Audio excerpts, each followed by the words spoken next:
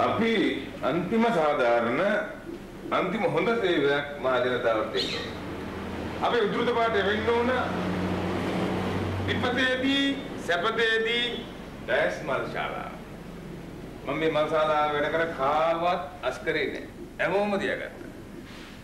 අපේ කාර්ය මණ්ඩලයට මම මේ අයගේ සම්පූර්ණ සහාය බලාපොරොත්තු වෙනවා. හ්ම්? දැන් ඒ ඒ අංශ වලට සේරම ඉන්නවද? එම්බා සෝන් පෙට්ටි හරි. එතකොට ප්‍රධාන අංශ තුනම හරි. හ්ම්? එම්බාම් පෙට්ටි සෝන් අපිට වැඩ පටන් ගත්තේ. එහෙනම් ටික අපි වැඩ පටන් ගමු. හ්ම්?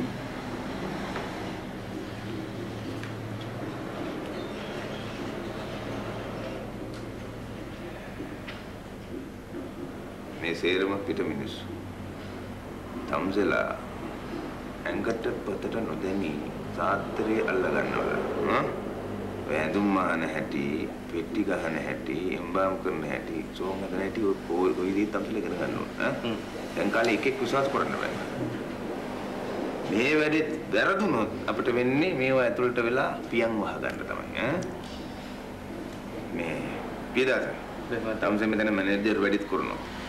විරුදු තම්සේ ඔය පිට ඇවිදලා බිස්නස් අරගෙන එනවා.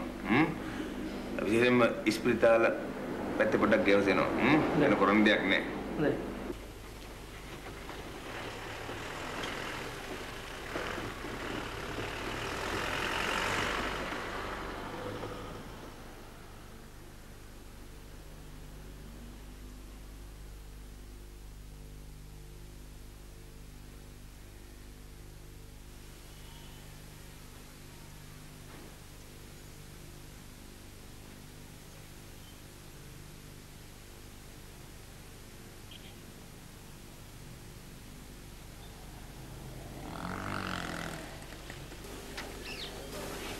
මුදලාලි මේ මුදලාලි පොඩි බිස්නස් එකක් තියෙනවා කරමුද? ස්පිරිතාලට යන්නේ නැහැ. තේ බොන්න මේ කඩේට එනවනේ. අපෙන් තමයි. මොනවද කිරෙන්න ඕන? කාගේ හරි ලෙඩෙකුට අමාරු නම් අසාධ්‍යයමයි කියනවනම් ඈ? මුදලාලි සපෝට් එක දීලා වැඩි බාරක හරි අපි පෙට්ටිය ගානේ කොමිස් මුදලක් මුදලාලට දෙන්න සමහර මල් සාපුකාරය සියයට දහයක් සමහරු සියයට දොළහත් දෙන තමුසල සියයට පහළවත් දෙනවා නංකා වෙනකම් පෙට්ටිය අපි ළඟ තියෙනවා. තාත්තා කියන්නේ මොකක්ද? තොරේ?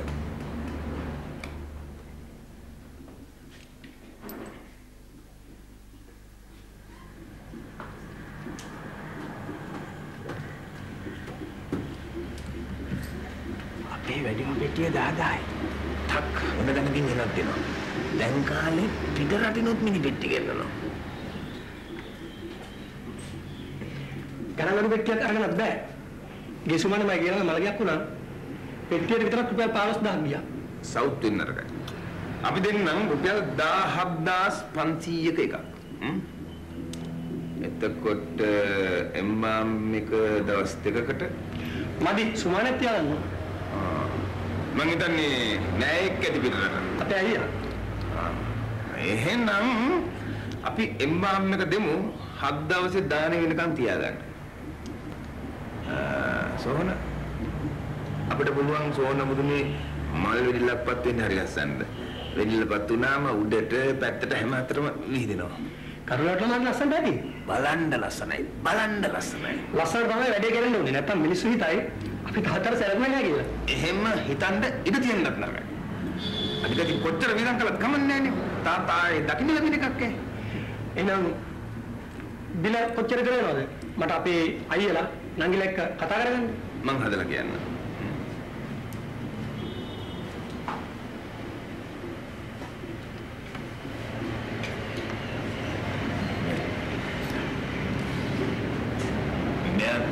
මරණේ කානිවල් එකක් කරගන්න මිනිහෙක්. අපිට ජාම් මරණ වලින් වැඩක් නෑ. මරණයටපත් වූ තරමට තමයි අපිට වාසි.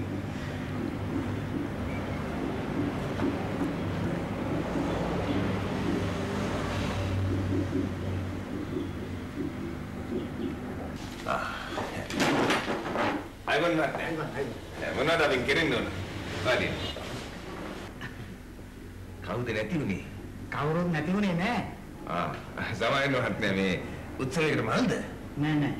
පොඩි වැඩක් කතා කරගන්න කියලා ආවේ. අපේ බෑන්ඩ් එකක් තියෙනවා. ආ විකුණන්නද? අපිට ඉතින් බෑන්ච් උන ලියනක් නැහැ නෑ නෑ. ඒ අපේ බෑන්ඩ් කණ්ඩායමක් තියෙනවා. Peter's band. මගේ නම පීටර්. අපි මරණ ගෙවල් වලට බෑන්ඩ් වාදනය කරනවා. මරණයක් ආවහම බෑන්ඩ් එකක් දෙන්නම් කියලා කියන්න. ඕඩර් එක ආවම අපිට දීලා අපේ ගණන් බේරන්න. ඒ වුණාට මේ දවස්වල ඉතින් මරණ වලට වැඩි බෑන්ඩ් ගහන්නේ නැහැ නේ. මාත්‍යා කිව්වා මිනිස්සු ගහයි. ඔව් ඉතින් පරණ දේවල් ආයේ මතු කරලා ගන්න එක දැන් ස්ටයිල් එකනේ. අපි දෙන්නේ තුන් දිනට ගහලා බලමු. වැඩි නැගලා යන්නත් පුළුවන්. බැස්මත්යෝ අර කට්ටිය අහනවා අපෙන් ඇඳුම් නොදා පරණ ටිකක් ඇඳිව්වොත් ගාන අඩු වෙයිද කියලා. කීයක් හරි අඩු කරලා දානවා. නැති බැරි කමන.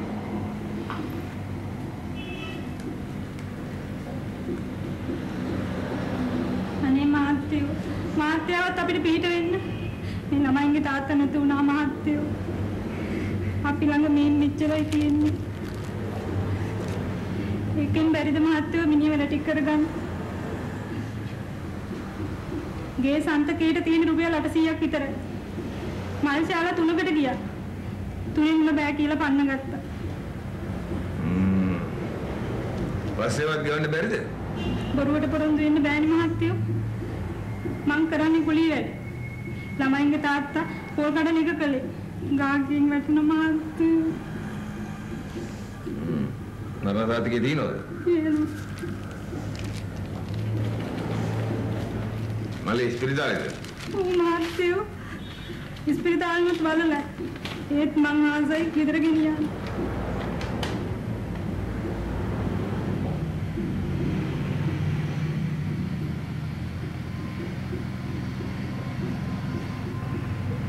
ඒ දවස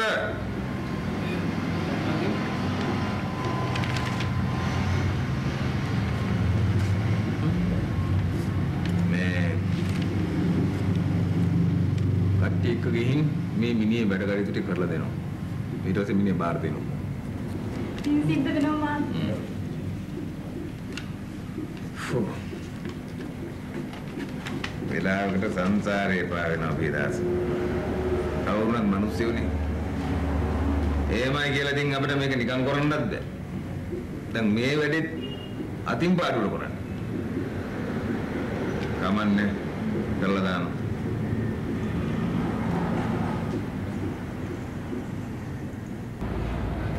දැස්මාතු දැස්මාතු ඉඳලා? හරි වැඩේනේ වෙලා තින් දැස්මාතු වැඩි මිනිහන්නේ අපි ගිහින් කියලා තින්නේ. මම ඉතින් මිනිස්සු පස්සේ යනකොට එනවා. මොකද්ද මුදලාලි මේකේ තේරුම? මේ කලබල වෙන්න එපා. අපි නිවි හැනෙහිල්ල මේක බේරගමු. ආ කලබල වෙන්නේ කොහොමද? මරණය කළා මිනිහ මාරු කරනවා. අපි මොකක් කරන්නද? ඉපිරිදානම් අපිට දීප එක තමයි අපි වෙන්නම් කළේ අන්න හරි. අන්න හරි. ඕගොල්ලෝ ඉස්පිරිතාලේදී මිනිහ හරියට අඳුරගත්තද? අඳුනගත්තා ඒත් ගෙදර ගිහිල්ලා බලනකොට වෙන එකක් ප්‍රයිවට් බස් එකකට වුණාම ඉතින් මිනිහත් අඳුර ගන්න බෑ තමයි. බෝම්බ එකට යහනේ ප්‍රයිවට් බස් එක. කොහොම හරි අපේ මිනිහා අපිට ඕනි. බෙදාස. දැස්මාතු තමුසේ ඉස්තිරිම්ම ඔය මිනිහ ගින් පොලිසියට බාර දෙනවා. හ්ම්? අපරාධයෙන් බම් එකයි ඇඳුනේ. ෂි. අයිතිකාරින්ට මාර ජානති ගන්නේ ආයෙත් සල්ලි දෙන්නේ නැහැ එක සැරයක් දුන්නා. ඔයගොල්ලෝ ගිහින් පොලිසිය මාර්ගෙන් ඕගොල්ලන්ගේ මිනිහ හරියට අඳුරගන්න.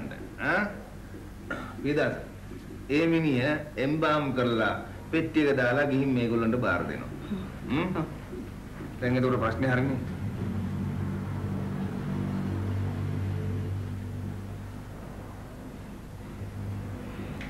ෂි. මට මේ බිස්නස් එක එපා වෙලා තියෙන පීදාස. සල්ලි පාඩු විතරක් නෙමෙයි. මම කුටි කන වැඩක් නේ. සම්සුගේ මේ ප්‍රශ්නේ කොට විසඳලා එනවා.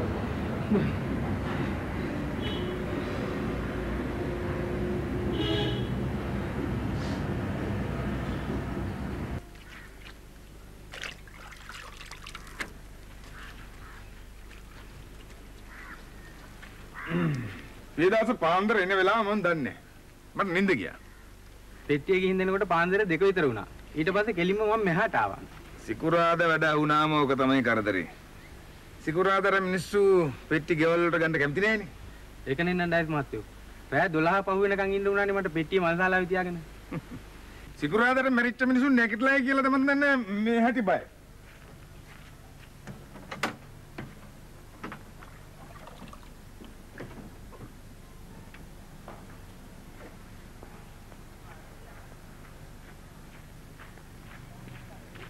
මේ මොකද්ද මේ?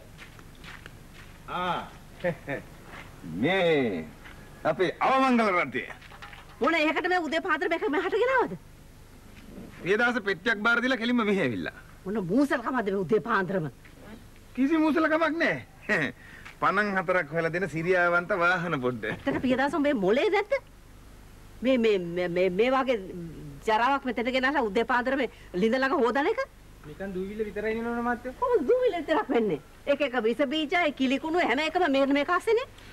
කිසිම විස බීජයක් නෑ අන්තිම පිරිසිදුයි උදේ හවස දුම් අල්ලනවා නිකන් නොදැන දොස් කියන්න එපා මට ඔයන් කතාව ඇති වැටන්නේ මීට පස්සේ මේ වගේ මූසල දේවල් මේ පැත්ත පළාතට ගේන්න එපා.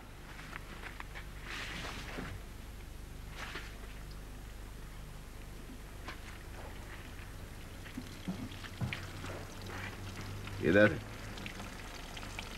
ඒ වැඩේටත් කනකොක අඬන්න වගේ. මේ කතාවේ තේරුම? ඈ?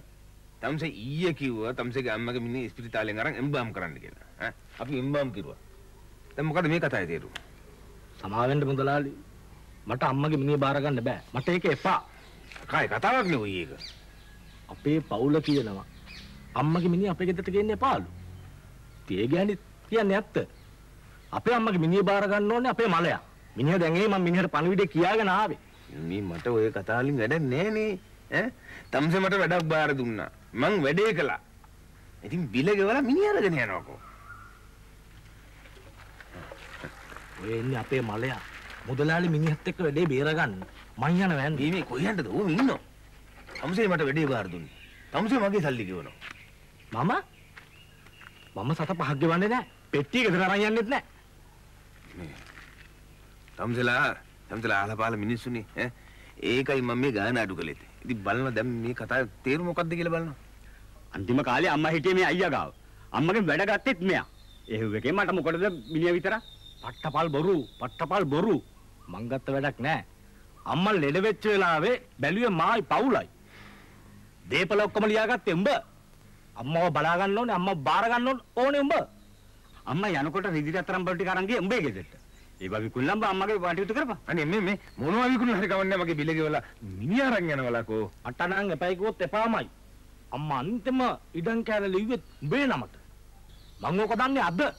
ඉල්ල ඒකෙම වල්ල ගන්න එකයි තියෙන්නේ. මම ගිහින් මිනිහ බාර දෙනවා පොලිසියට. එක අම්මගේ දරුවෝ මිනිහ බාර ගන්න කෙනෙක් නෑ. පොලිසිය මිනිහ බැලුවොත් මන් දෙනවා දානේ. මාත් දෙනවා දානේ. ඒ වුණාට බිල් ගෙවන්න මම ලැහැත්ති නෑ.